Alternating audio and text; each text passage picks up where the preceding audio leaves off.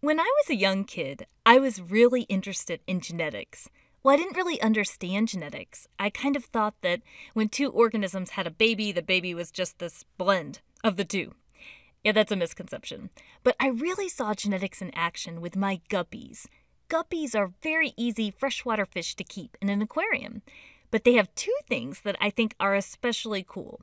They have live birth, which means there are no eggs, like many other fish. And second, they have a lot of babies. They also eat their babies, but I don't think that's especially cool. So, as you can see, that is not part of my cool fact list. Anyway, when my surviving baby guppies grew up, they would have all kinds of cool traits. These traits were carried by their DNA, their genetic material, which is found in their body cells. But sometimes I would forget which mother was the mother of the baby guppy, because there were several mother fish in the tank, and I wanted to keep track of inheritance in my guppy notebook. So, what would have been very cool to have at that time? Some biotechnology. Biotechnology is the merge of biology and tech, and it's constantly changing. It includes topics such as PCR, cloning, and genetic engineering. It's also an awesome field. We're going to talk about one of the biotechnologies that could have, well, potentially, helped me determine the genetic relationships of my guppies.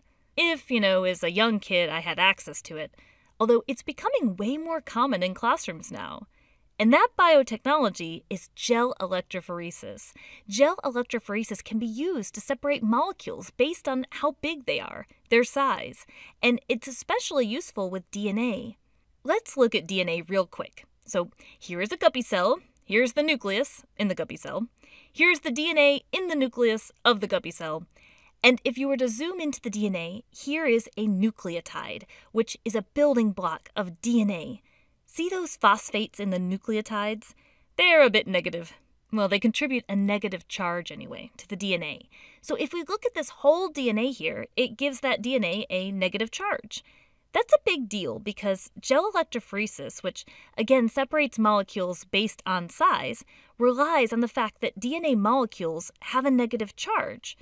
Okay, here's a gel electrophoresis machine. The point of the machine is to be able to have an electrical charge running through a gel. So here's the gel, typically made of agarose. Agarose is a polysaccharide polymer, which, if you remember from our biomolecule video, polysaccharides are carbohydrates. Yeah, usually agarose comes from seaweed. The agarose gel itself lets the DNA molecules travel within it. One end of the gel has these holes called wells.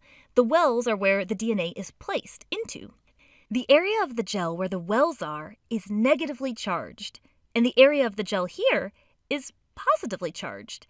So, guess where the DNA will travel towards? Well, since it's negatively charged, it's going to travel to the positive side. So typically, when you're analyzing DNA in electrophoresis, you use these restriction enzymes to cut the DNA up into tiny pieces.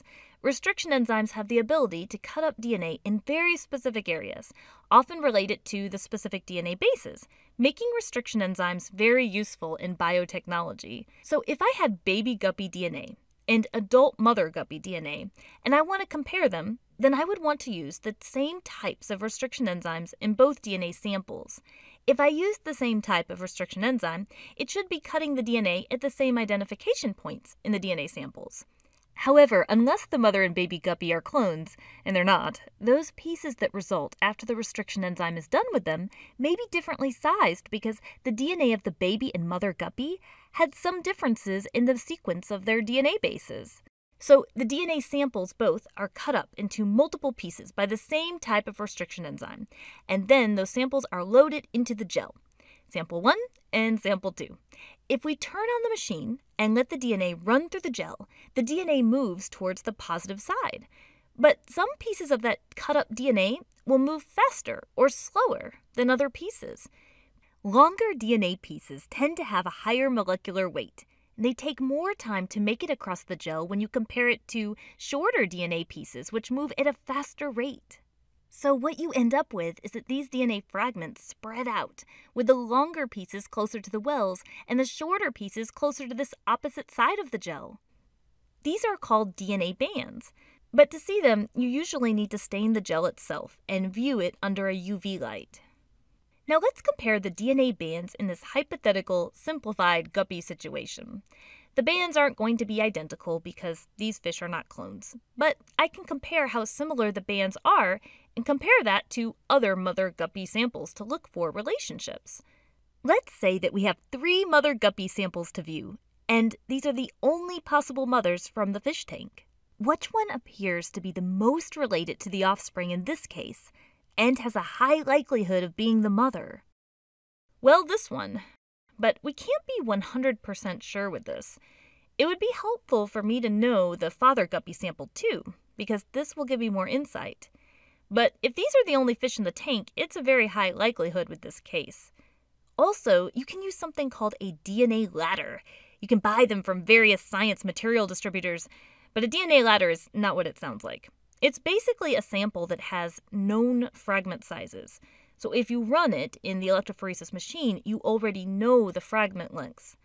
Let's say this DNA ladder only had three bands, which is not usually the case. Since it's a DNA ladder, the base pair lengths are known.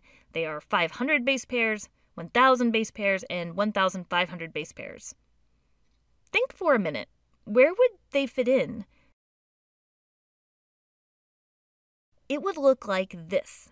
You can use this now as a reference to give estimates of how large the other fragments are when they're run alongside it.